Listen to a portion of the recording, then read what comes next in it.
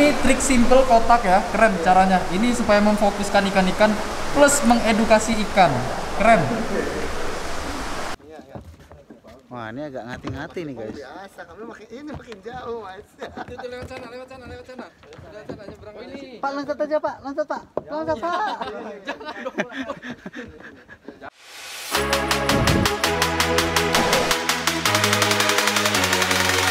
kalau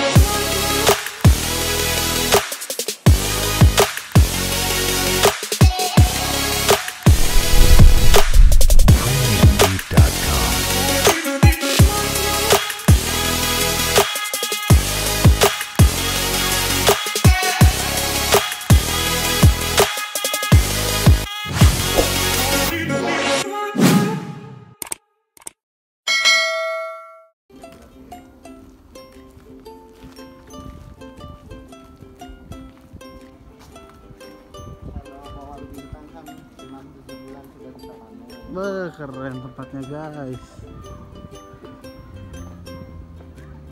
Keren keren. Aman tapi Pak ya. Aman. Aman ya.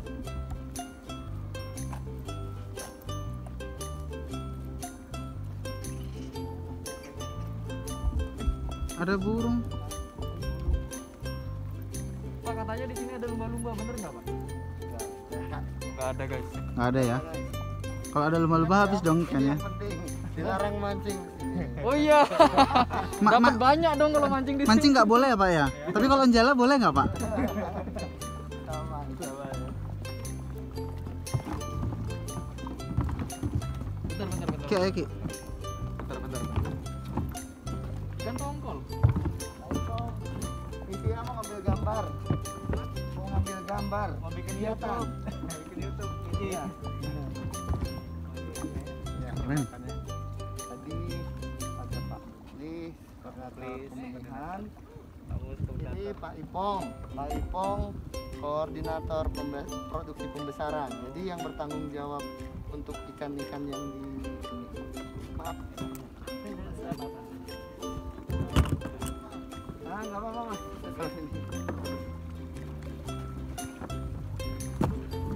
Iya, di, Pak Ijal lagi bersemangat ini. Waduh, Iya. semangat banget ya Pak Ijal cara ya. Semangat banget. ya, Ini Pak cara ya. kita nyebrang ke kenapa ke Keramba guys. Jadi ada pompomnya. Ada pompomnya. Ini. Ini ini apa namanya Pak ya? Sorry Pak. ya ini ya cube ya cube Eh, Bang. Awas ketinggalan kapalnya. Nextnya gimana? Oh, di sini ditarik Ah, lagi. iya. Nanti untuk komoditas bisa langsung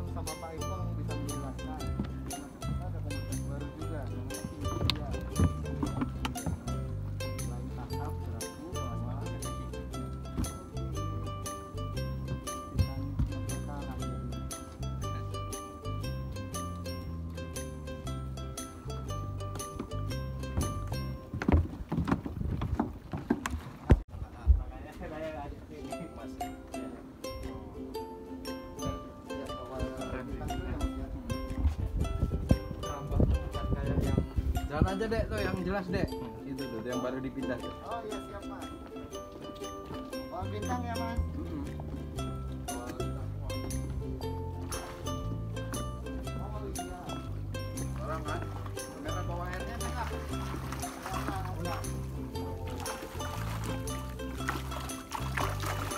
Wow, Setelah tadi melalui pendedaran di sana, ikan lalu dipindah ke sini saya tadi Pak, konsumsi ya. bawal hitam ini eh Bawal bintang. bawal bintang ini putih cerah Ah. bersinar gitu loh.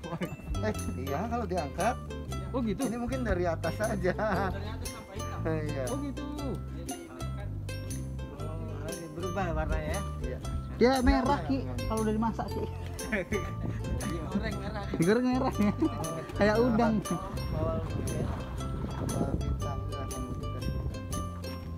Ini udah berapa bulan Pak? Bulan Pak Ipong kalau yang ini? Empat, empat bulan ya. Oh, Nah, udah gede empat iya. bulan ya. Eh, Empat bulan udah gede. 6 bulan sudah bisa panen ya Mas ya? Dua bulan lagi sudah bisa panen. Panennya bisa di 400 lim- sampai 600 gram ya Mas. harga per kilonya harga di kami 95.000 ya Pak Ipong 5.000 per kilo. per kilo Dari sini pak ya. iya Sorry pak, kalau masyarakat awam boleh beli langsung nggak sih pak? bisa. Nah, tapi masuknya gimana nanti dari depan oh kan kita ada call center juga. Seperti biasa ya. Oke, ya Pak. kita tadi nanti di sini. Tadi. Ada biasanya warga sini tuh langsung dia pakai kapal pakai boot langsung. Tahun depan gini putih katanya. Besok ya Oh, iya. Eh, mantap Boleh. Jelas, udah jelas. Udah jelas. Udah jelas. Beli langsung ke sini. Iya. Pak Ijal, ayo Pak. Kita jadi teman partner Pak. Ya bawal Nanti usahanya Pak Ijal berubah jadi sempol ikan.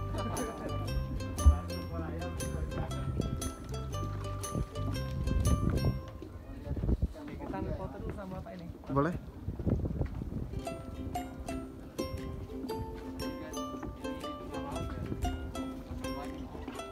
Kerja di atas gini apa nggak mual pak ya? Goyang-goyang terus gini pak. Udah biasa Pak ya. Biasa pak ya? Udah biasa karena sering di laut itu. Oh, karena sering di laut. kalau baru turun ke sini mabuk. Mabuk ya? Hmm. Ini agak agak gini soalnya.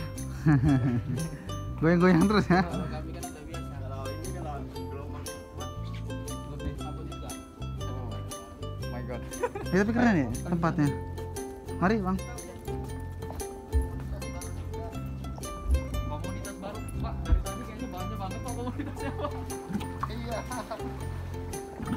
Wah pas ke sini tahu kita nggak makanan yang datang Bentar bentar bentar. Ini ikan patin bukan pak ya? eh bukan nanti kan laut kobia king kobia Oh. Mohon maaf pak, soalnya di pasar aviari nggak ada yang gini. oh Iya betul. Ini ini ini mana pak pasarnya pak? pasarnya ini keluar juga ya Pak Ipong ya pasar dan lokal ya jadi dia kelebihannya ya, filet lebih ke filetnya dan dalam satu tahun tuh bisa 4 sampai 4 sampai 6 kilo bisa ya? Di tahun. Tahun? Iya. 5 kilo. 5 kilo. Bayang nggak Mas? Per ekornya 5 kilo. Satu tahun. bisa. Iya.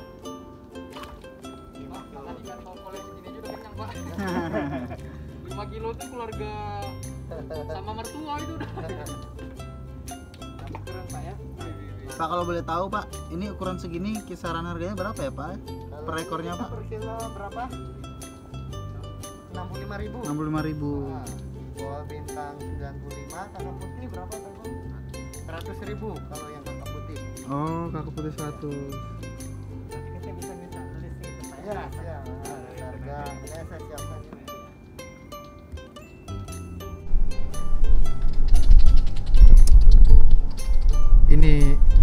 Baru tahu alasannya guys. Kalau kalian ke sini, jangan buang sampah kalian ke laut, ya kan?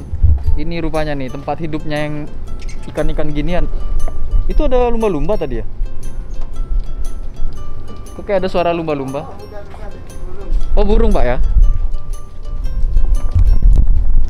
Taipong ya. Kenapa? Kakak putih hybrid Taipong?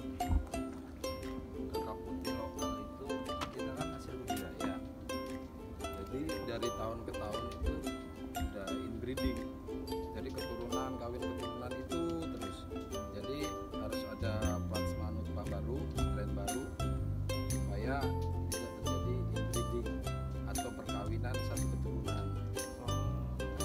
sama seperti manusia.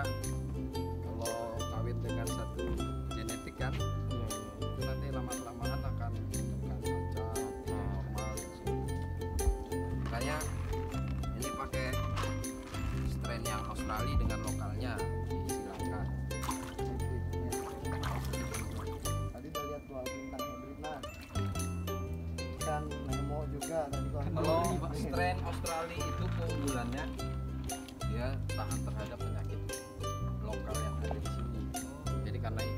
Australia adaptasinya dengan eh, kondisi di sini dia lebih baik artinya kalau orang asing lah belum mengenal penyakit yang ada di sini gitu. Lebih tahan ibunya. ya lebih tahan makanya dicari ketahanannya itu sama pertumbuhannya disilangkan dengan kakap lokal kalau umpama gelombang tinggi ini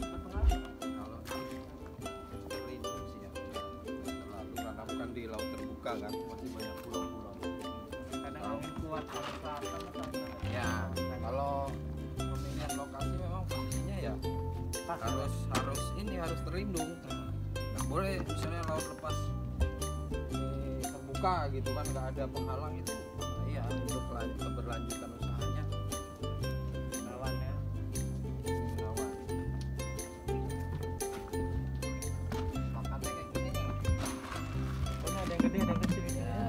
sesuai dengan ukuran ikan ya tenggelam khusus untuk ikan laut dia tenggelam Oh gitu. ya kalau ikan darat kalau ikan darat Ngapung.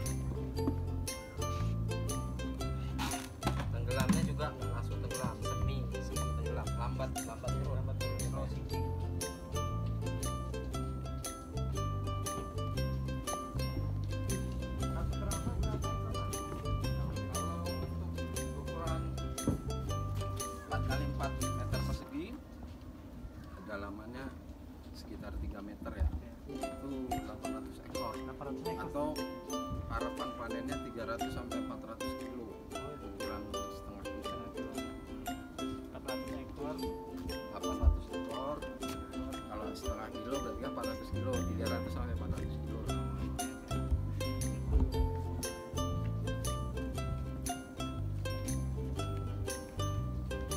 Kalau ini saya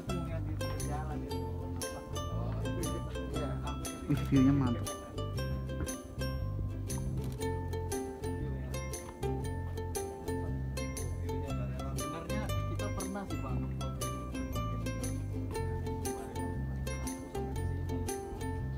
nggak ngeliat ini bang ya masalahnya Iya. ya.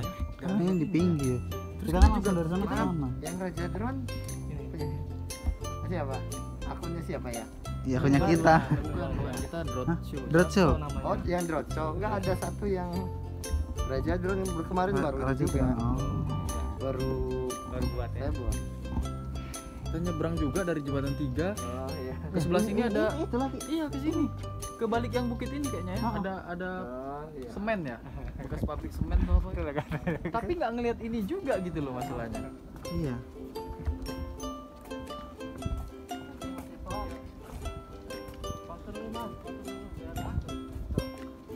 Oh iya Bisa dipanjangin? kenang-kenangan Oh iya, Pak. Ani ya, Pak. Terima kasih. kenang-kenangan dulu Iya. Jadi kita udah keliling-keliling nih. iya Udah keliling-keliling, udah melihat keramba. Ini ikannya bukan banyak lagi ya, tapi memang budidaya di sini nih. Ikannya marah deh bang Kenapa? kayaknya ikan marah ini kita lewat dia gitu gitu Enggak, ini ikannya ada yang itu, ada yang luka, berantem kayaknya. Itu biasanya ini rebutan pacar. oh, bukan ya? kan pacar banget bang Ini menurutmu kira-kira gimana nih? keren keren ini kalian bisa beli langsung ya ke sini datang nih di Bisa. balai perikanan Balik perikanan. di Pulau Stoko Jembatan jembatan satu tiga ya? hmm, jembatan tiga jembatan satu lewat jembatan dua jembatan tiga lurus ikin 400 meter jaraknya deket banget Iya. ikan yang kalian beli seger masih hidup Gede-gede lagi. gede mau ikan yang panjangnya satu meter ada kalau su- sanggup ngabisinnya bang ya Iya. Ada tadi yang gede banget ya. Satu meteran. oh iya saya kan baru buat nyoba-nyoba benar-benar di YouTube nah, nggak bisa kebaca sama orang iya iya iya iya ya. Wah, ini agak ngati-ngati nih, guys. biasa kami makin ini makin jauh mas. Itu lewat sana lewat sana lewat sana. Lewat sana nyebrang oh ini. Pak, loncat aja, Pak. Loncat, Pak. Loncat, Pak. jangan bang. Ini bahaya bang. Dalam ini. Ini mas. Tadi oh bang. Belum mas. Belum pak Oke, Pak. Lanjut, Pak. Oke, weh. ahlinya. Kalau udah ini loncat langsung. Oh. Bagus tuh Ya, sunsetnya bagus ya. lapse ini mas keren. Udah berapa? Memang Barelang cocok untuk sunset sih pak